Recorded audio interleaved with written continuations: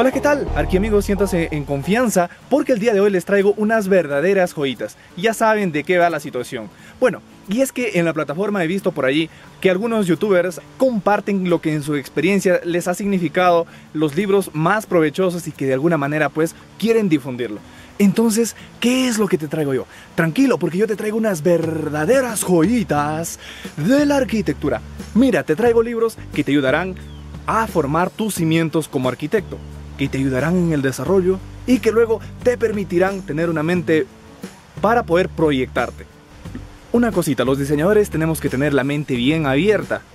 Entonces es importante que en el proceso utilicemos los materiales que nos van a permitir posteriormente tener esa facilidad, esa libertad, que no nos parametricen, que no nos limiten, que no nos detengan.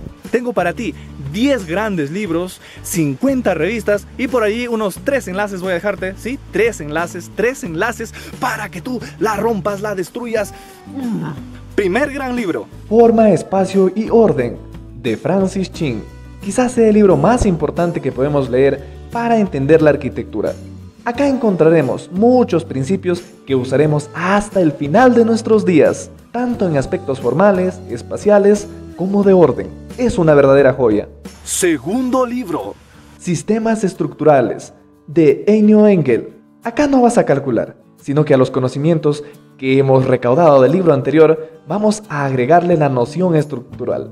Es decir, cómo se comportan las estructuras, lo cual es recontra importante al momento de proyectar. Y no, no, no, no, no son libros densos, son full diagramas, te van a encantar. Tercero las dimensiones humanas en los espacios interiores. Este libro es muy importantísimo para poder entender el funcionamiento del usuario y el espacio. Es un libro adaptado a las medidas de Latinoamérica, así que te lo recomiendo muchísimo. Acá encuentras todas las actividades que realizamos a diario con sus respectivas medidas necesarias para poder desempeñarlas de manera adecuada. Te lo súper recomiendo. Cuarto. Plazola, Arquitectura Habitacional. Esta es una enciclopedia, creo que también se divide en tomos, así que puedes conseguirlo como tú gustes. ¿Qué vas a encontrar acá? Criterios y conceptos adaptados también para Latinoamérica, pero ya acá más profesional. Encontrarás proyectos de estadios, universidades, fábricas. ¿Sabes cómo funciona un estadio? Pues tranquilo, vas acá a esta enciclopedia y te resuelve todas las dudas. No olviden que la arquitectura es un oficio que ya se viene realizando hace muchísimo tiempo. Quinto. Newfer. Este es un libro con medidas europeas, pero tranquilo, que aplica para todos los arquitectos ya que es una carrera global. Posiblemente los libros que te he mencionado anteriormente sean adaptaciones de este. Yo lo considero la Biblia de la arquitectura, porque acá tú encuentras todo lo que necesitas saber en cuanto a funcionamiento de dos distintos proyectos que existen alrededor del mundo. También, obviamente, indispensable. Sexto. Hasta acá ya tienes una super base. Ahora sí, los libros que necesitas para generar tu propio proceso de diseño.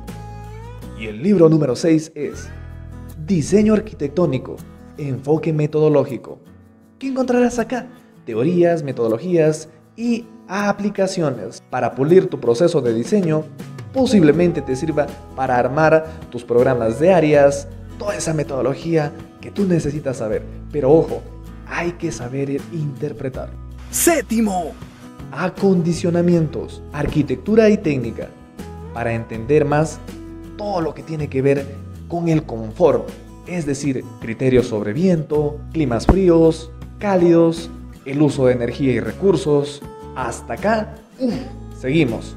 Octavo. Ahora sí los libros que necesitamos para abrirnos la mente, para ampliar nuestros panoramas. Maestros de la Arquitectura. La colección del editorial Salvat. ¿Qué es esto? Es un conjunto de tomos cortos, ¿sí? De todos los arquitectos y sus principales obras, desde los clásicos hasta algunos súper contemporáneos. Lo más importante que son bien didácticos y puedes leértelos en muy poco tiempo. Con esto te comerás la arquitectura hecha alrededor del mundo poco tiempo. Noveno.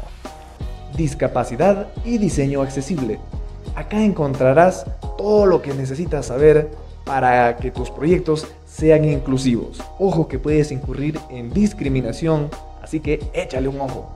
Muy importante, te da medidas, está todo servidito solo para que lo utilices. Y finalmente, pero no menos importante, 10. Ya para que te rayes. USA, arquitectos. Me parece que esta también es una colección que hay también libros sobre arquitectos japoneses y bueno, en fin.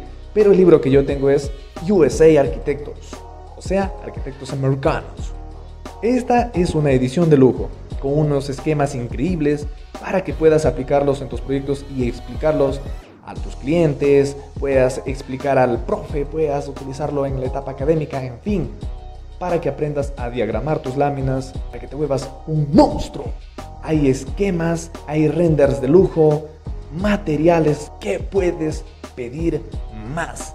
Tienes el pack completo. Espero puedas conseguirlos toditititos. Sé que te van a servir muchísimo. Aparte que todo texto es súper importante, pero estos van a ser esenciales para ti. Un arqui saludo para todos y compartan para que la familia siga creciendo.